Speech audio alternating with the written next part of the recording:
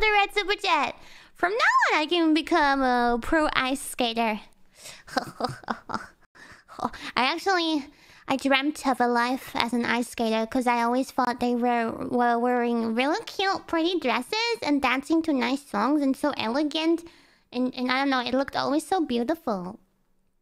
Yeah, but I would have had to start very early with practice, and that uh, unfortunately was not what I was chosen to do. A phoenix on ice? Wouldn't that be fucking cool?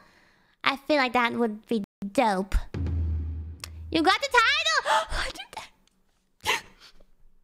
this game... This game made my childhood dream come true!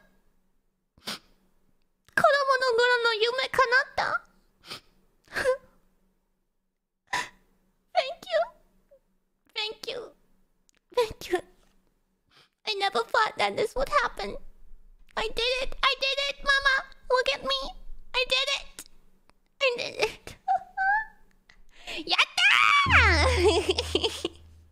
Dream achieved. $20 subscribe.